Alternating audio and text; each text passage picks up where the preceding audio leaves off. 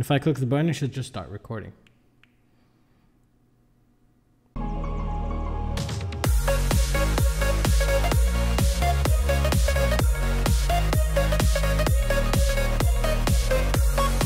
Hey, what is up guys and welcome back. So today we're going to be covering the DVR for the VR005 and as well as the URUAV goggle. So before beginning, let's talk about some of the components that are needed in order to finish this. And it, these components for both of these are exactly identical.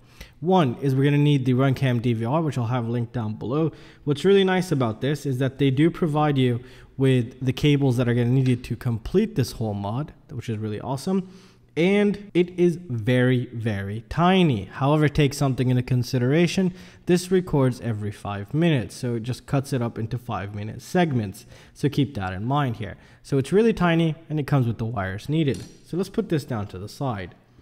Next thing, and something that's very, very important to have, even just to keep a couple around, is one of these guys. Now be careful when purchasing these. They come in many different types of flavors. And what do I mean by that? Well, one of them can take a 1.5 volt output and change it to 3.3. One could take a 3.3 and change it to 1.5, and you get what I'm going with this. There's a lot of them. However, there's this one that we need, which is 3.3 to 5 volts. It's very important because there is no 5 volt regulators on any of these, and we need to step up the 3.3 volts or the battery voltage to a stable 5 volt for the RunCam DVR here. Next, you'll need two more silicone wires or just any type of wires. These are going to come in useful and I'll show you what I mean in a bit. And last but not least, that's not really important. If you have a 3D printer, you can do an enclosure like this here, which makes it really nice and portable. As you can see, here's the SD card. There's a RunCam DVR in here also. I didn't put all of them. And there's even a button right here that actually works. I found this on Thingiverse. I'll have it linked down below. Huge shout out to the guy who created this. Really awesome. Saved me a lot of time. All right, so let me show you how to identify everything and prepare everything. But before that, word from our sponsor.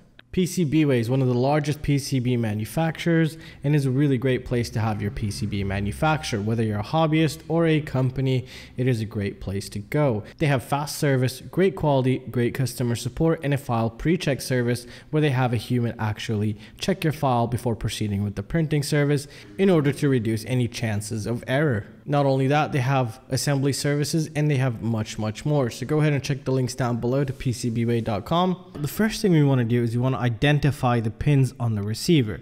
There's obviously going to be a ground, voltage, RSSI, audio, video, and possibly another ground, and three more uh, pins here that'll allow you to change the channel through the buttons. All right, so the way to figure this out is I've actually memorized the order that most of these come, but to also verify that it is correct, I do use an oscilloscope, and I actually do use this little tiny one, which is called the DS213, which is a really great oscilloscope. There's also the DS212, which I use instead of bringing my big ass oscilloscope here, just to test one pin.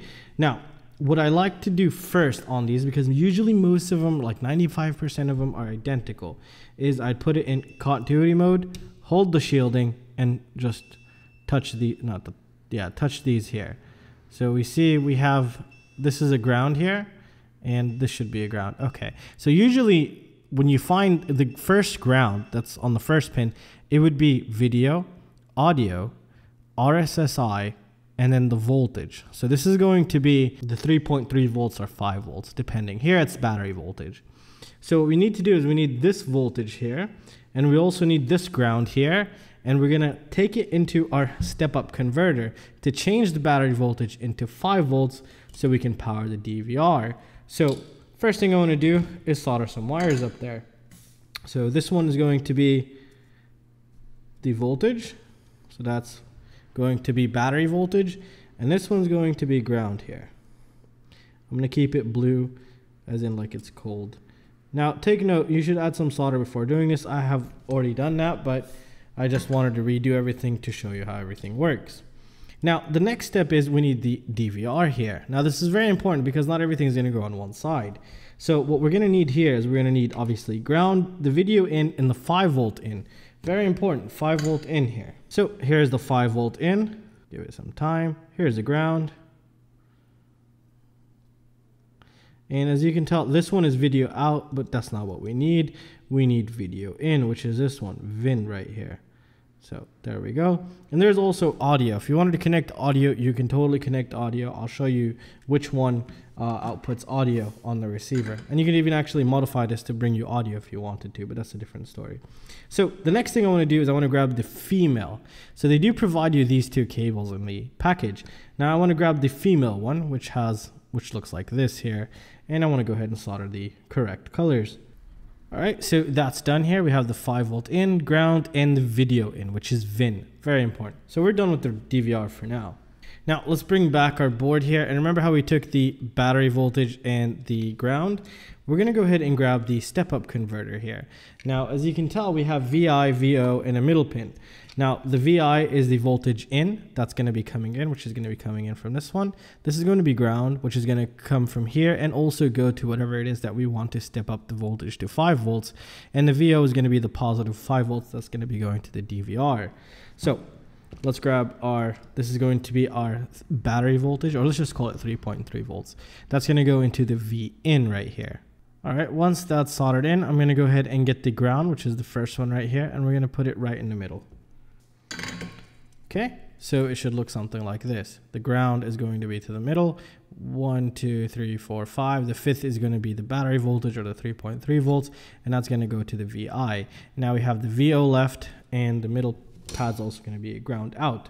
So the next thing I want to grab the other connector here, which is also found in the DVR, and this is the male type. So we're going to need the positive and negative. So red's going to go to the VO, which is voltage out. And we're left with the black wire, which is going to go right in the middle above this one right here. Okay, so now the, both of the grounds are together right there in the middle. V in, which is coming in from here, and VO, which is going here. Now we're left with the yellow cable for the DVR, and that's just going to go right next to the ground right there. That's going to be the video. Now we're good. So what's next to do? Well, actually nothing. We're done. We just plugged this guy right in, and now this has DVR. So it's just really that simple. There's nothing to it. It's just pretty crazy. So I've also 3D printed this little case here, which is really nice. It takes M2 screws and um, it just holds everything in really good. And you could even see the LEDs in here. So let me actually show you that. So here we go. We have this plugged in. I'm just going to bring in the battery from this module here. All right, so we have everything powered up. Once it powers up, it all it automatically powers up when this powers up, which is really nice. And you can see the LEDs in there. So there is also a DV, the SD card right there, which we can access. This is a really nice file I found on Thingiverse, and the button is right here. So if I click the button, it should just start recording. There we go. It's recording, which is really awesome. I'm also going to show you when I power off the screen that this will power off as well. So screen's on as you can see. And there we go. Boom off, which is really cool.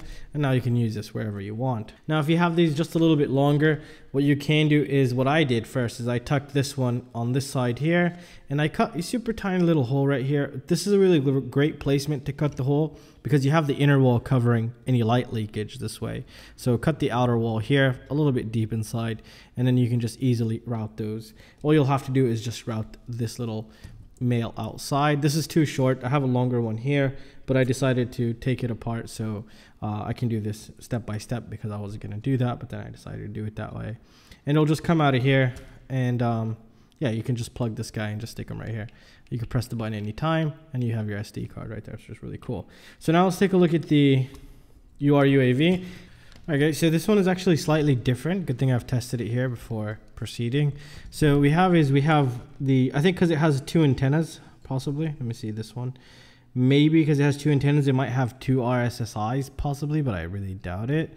Um, I don't know what receiver they're using in here, but it's it's not the normal RX 5808, so um, I don't know what to expect here. But anyways, here's the shielding. And then what we have is going to be the fourth from the left is the voltage. And as you can tell, it's 3.3 volts right now.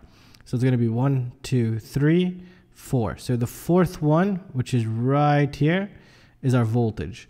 So voltage, and then we have our ground, and then that should be our video right here. So this is the same way as the other one that we just did. However, the voltage is, is going to be from the, uh, the, or the red, or the positive voltage is going to be from one, two, three, four, five, six. The sixth pin, or we can say the fourth pin from the left. First one is ground, and then the next one is going to be video right here. Usually those are video and just do the same thing we did with the other goggle and you should have DVR. However, if you are interested in a Fat Shark mod for this, we can do it. And I think we can also do it for this one, but this one will need some more hacking of the uh, firmware here, but we'll, we'll cover that in a later video. This one, we can take advantage of the AV input right here. However, with the URUAV, you don't even need to mod it. Just You can just put an AV in here with like a docking and then you're good to go. And I'll show you guys that if you guys don't know what that is. Um, you won't even need to mod it to put some kind of a Fat Shark module. However, it'll cost you quite a lot of money to do because that docking is pretty expensive and a module usually is pretty expensive as well. So this is how you set up DVR here. Now expect way more mods. This is just a quick introductory mod video. I'm going to do a lot more things with these, especially this one right here. This one I am just, um, I'm just in love with. It. We can do so many things with it. The thing is my Autodesk subscription ended, so I need to renew that before I can design something for it. And that's why I just did this one here. And I'm very happy that I found this 3D printed uh, cover for the Runcam in here, which is really cool. And uh, yeah, just M2 screws in there. And here's the D here's the SD card. It's really cool. I'll have it linked down below. You could just uh, download it and print it. And well, that's it guys. I'll have everything linked down below. If you guys have any questions or any suggestions, feel free to let me know. And I'll see you in the next one. Peace out.